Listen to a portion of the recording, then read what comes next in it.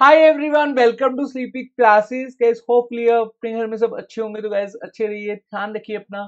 And guys आज हम discuss करेंगे घटना चक्कर सीरीज़ में ज्योग्राफी से रिलेटेड क्वेश्चंस तो चलिए सेशन को स्टार्ट करते हैं।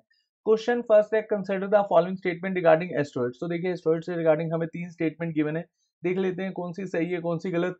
तो फ़र्स्ट स्टेटमेंट क्या कहती है asteroids are rocky debris of varying size orbiting the sun second statement most of the asteroids are small but some have diameter as large as 1000 km and third statement, the orbit of asteroids lies between orbit of jupiter and saturn. तो काफ़ी अच्छा question है। Video को pause कीजिए five second का timer on कीजिए और इस क्वेश्चन का सही आंसर मार्क कीजिए। होपफुली अभी तक आपने इस क्वेश्चन का सही आंसर मार्क कर लिया होगा। तो देखिए, यहाँ पर आपकी जो फ़र्स्ट स्टेटमेंट है, ये भी बिल्कुल सही हो जाएगी। सेकेंड स्टेटमेंट ये भी बिल्कुल सही हो जाएगी। लेकिन थर्ड स्टेटमेंट ये गलत है। तो अकॉर्डिंग टू ऑप्शन आपका यहाँ पर ए ऑप्शन बिल्कुल सही हो जाएगा।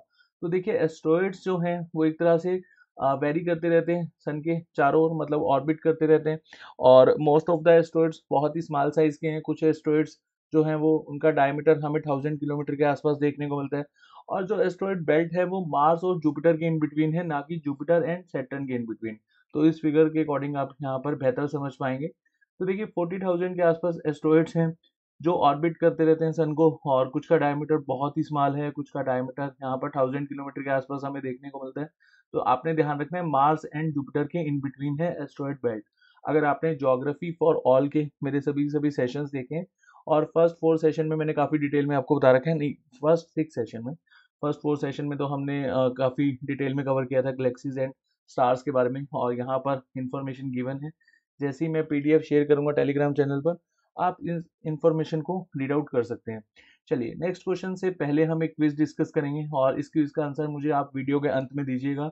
द मुगाओ केव्स जिसको हम थाउज़ेंड बुधा केव्स भी कहते हैं, यहाँ पर लगभग 500 टेम्पल्स हैं। आपको बताना है कि जो मुगाओ केव्स हैं, ये आपको कौन से देश में देखने को मिलते हैं? Cambodia Thailand Sri Lanka and China अच्छा जो बुद्धिस्ट टेम्पल्स होते हैं, उनको हम पगोडास कहते हैं। तो समटाइम्स यहाँ पर पगोडास भी आ सकते हैं। तो इसमें आपने कंफ्यूज नहीं होना है। तो आपको यहाँ पर आंसर देना है कि 500 टेम्पल्स के जो एक केव है, इसको बेसिकली आप कहाँ पर देखते हैं? Cambodia Thailand, Sri Lanka and China और इसको हम लास्ट में डिस्कस करेंगे। अभी के लिए हम सेकेंड क्वेश्चन पर आते हैं। Match column first and column second देखिए कॉलम फ़र्स्ट में हमें गिवन है प्लैनेट्स और अभी के लिए खैर प्लूटो प्लैनेट नहीं है और मून एक सेटेलाइट है सन एक स्टार है और यहाँ पर अर्थ एक प्लैनेट है। और यहाँ पर हमें गिवन है कि अर्थ बेसिकली हम अर्थ को क्या कहते हैं? प्लूटो को क्या कहते हैं और सन क्या है एंड मून क्या है, वैसे मैंने आपको आंसर बता ही दिया बट बहुत ही इजी क्वेश्चन था। देखिए अर्थ क्या है? ब्लू प्लेनेट है। तो यहाँ पर आप यहाँ इसको मैच कीजिए। अर्थ क्या है? ब्लू प्लेनेट प्लूटो क्या है? ड्वार्फ प्लेनेट इसको हम 2006 के बाद प्लेनेट कंसीडर नहीं करते। और उसके बाद मून क्या है? एक सेटेलाइट और सन क्या है? स्टार और सन की ही फैमिली है, जिसको हम सोलर सिस्टम कहते हैं। अच्छा एक क्वेश्चन पूछा जाता है कि जो सन है ये मिल्की वे गलेक्सी की कौन सी आर्म में है तो आपने यहाँ पर याद रखना है, सेकेंड आर्म और इसको हम क्या बोलते हैं? ऑरियन आर्म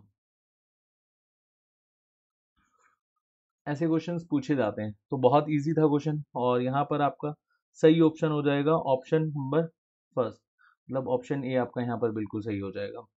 चलिए नेक्स्ट क्वेश्चन देख लेते हैं। यहाँ पर देखिए match list one and list second list one में गिवन है प्लैनेट्स एंड लिस्ट सेकंड में गिवन है सेटेलाइट्स अब ये क्वेश्चन थोड़ा सा अच्छा है।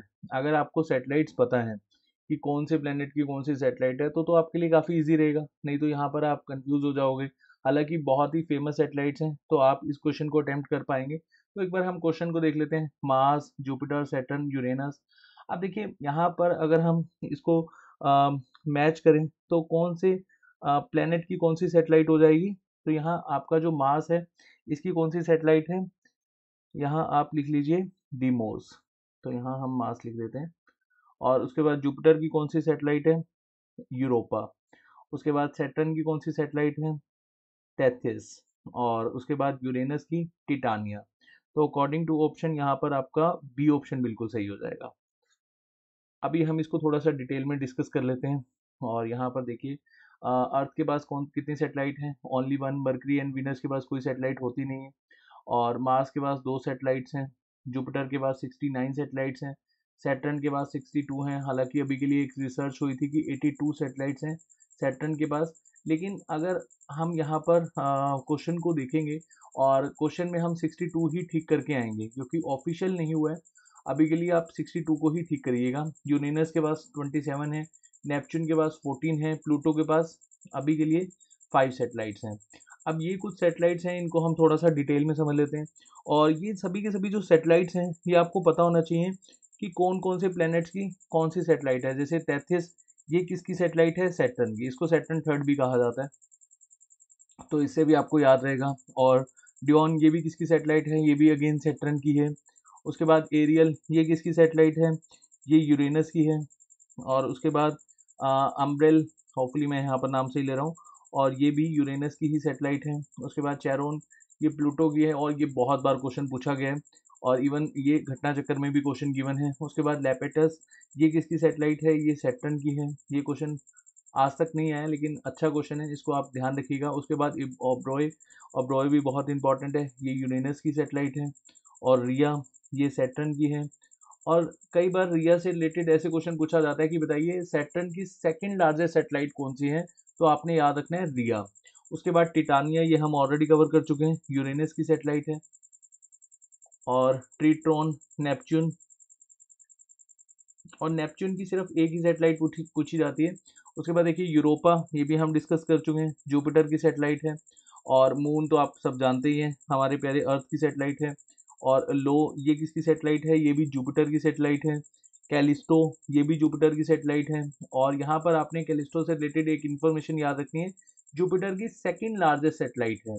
और उसके बाद टाइटन ये सोलर सिस्टम की सेकेंड लार्जेस्ट सेटेलाइट है और ये किसकी सेटेलाइट है? सेट्रन की।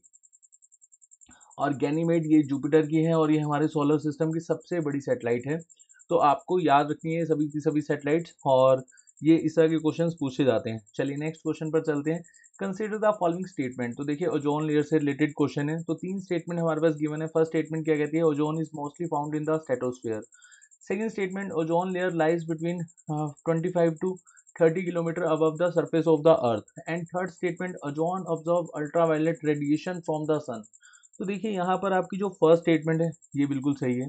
स्टेटोस्फेयर में हमें देखने को मिलती है जोन लेयर। और लेकिन यहाँ पर जो सेकंड स्टेटमेंट है, ये गलत हो जाएगी, क्योंकि 20 टू 30 किलोमीटर हमें अब देखने को मिलती है तो यहाँ 25 है, इसलिए ये स्टेटमेंट गलत है। और जो थर्ड स्टेटमेंट है, ये बिल्कुल सही है।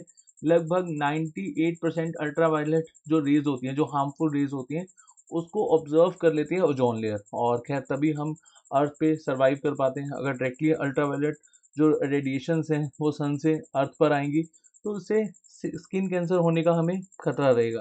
तो काफ़ी ज़्यादा डैमेज हो जाएगा। तो यहाँ पर आपकी जो फ़र्स्ट एंड थर्ड स्टेटमेंट है, वो बिल्कुल सही है। तो ऑप्शन बी आपका यहाँ बिल्कुल सही हो जाएगा। और आज का जो हमारा लास्ट क्वेश्चन है, वो देख लेते हैं which of the following statement are correct और अभी के लिए हमने जो एक न्यू इनिशिएटिव स्टार्ट किया है मैप्स विथ स्लीपी उसमें मैंने ओवरव्यू ऑफ़ इंडिया काफ़ी डिटेल में कवर करवाया था। अगर आपने वो सेशन देखा होगा तो ये क्वेश्चन आपके लिए बहुत ईजी है। तो इस क्वेश्चन को आप पहले खुद से अटैम्प्ट कीजिएगा। Assam shares a border between Bangladesh and Bhutan. West Bengal shares a border with Bhutan and Nepal and Meghalaya shares a border with Bangladesh and Myanmar.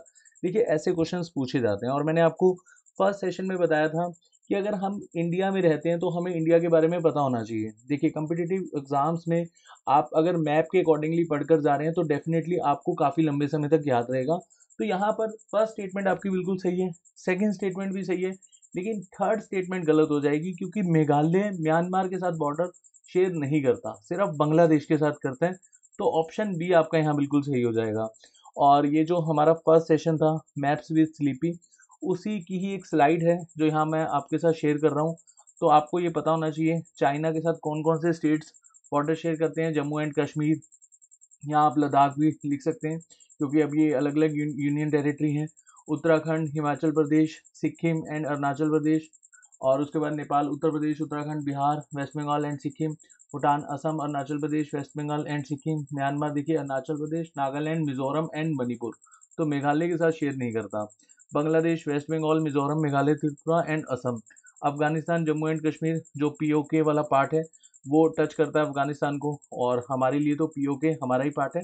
तो हम यहाँ मान के चलेंगे कि अफ़गानिस्तान के साथ भी इंडिया का बॉर्डर टच करता है, ठीक है? और पाकिस्तान के साथ जम्मू एंड कश्मीर, पंजाब, गुजरात एंड राजस्थान।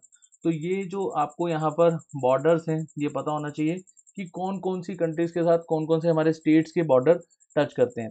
और आज जो हमने यहाँ पर एक क्विज डिस्कस एक बार इसको देख लेते हैं। तो इसका राइट आंसर हो जाएगा चाइना तो यहाँ ऑप्शन डी अगर आपने ठीक किया होगा तो डेफिनेटली ये क्वेश्चन आपका ठीक है. तो फाइव क्वेश्चन हमने डिस्कस करे हैं. अब देखिए, घटना चक्कर सीरीज़ हमने अगेन स्टार्ट करी है और इसका मेन मोटिव यही है कि प्रीवियस ईयर क्वेश्चन का हमें बेस्ट कंपाइलेशन देखने को मिलता है घटना चक्कर में और इसके अकॉर्डिंगली हम अपनी एक तरह से रिवीजन कर सकते हैं अपने पेपर के लिए, बेहतर तरीके से प्रिपेयर हो सकते हैं। तो आप इन क्वेश्चंस को अच्छे से समझिए। अगर आपको कोई भी डाउट है प्लीज़ कमेंट सेक्शन में पोस्ट करेगा और पीडीएफ आपको साथ ही साथ आप टेलीग्राम चैनल पर मिल जाएगी। जो एक्स्ट्रा इन्फॉर्मेशन गिवन है, उसको पढ़िए। अगर उसमें से भी रिलेटेड आपको कोई डाउट रहता है प्लीज़ कमेंट सेक्शन में पोस्ट कीजिए। इवन सभी के सभी लेक्चर्स जो पॉलिटी का सेशन है, उसमें अगर आपका कोई डाउट है साइंस का कोई सेशन है, उसमें अगर आपका कोई डाउट है, जब तक आप कमेंट नहीं करेंगे, तब तक आपका जो भी डाउट होगा, वो क्लियर नहीं होगा। और हाँ आपने ये भी बताना है कि आउट ऑफ़ फाइव आपके कितने क्वेश्चन ठीक हुए। जैसे कि मैंने आपको बताया, घटना चक्कर में हमें प्रीवियस ईयर क्वेश्चन देखने को मिलते हैं। तो प्रीवियस ईयर क्वेश्चन में हम एक तरह से अपने आप को रिवाइज करते हैं कि हम अपने एग्ज़ाम के लिए कितने अच्छे से प्रिपेयर कर पा रहे हैं। तो नेक्स्ट सेशन में बहुत जल्द मिलेंगे। तब तक के लिए अपना ध्यान रखिए। Thank you so much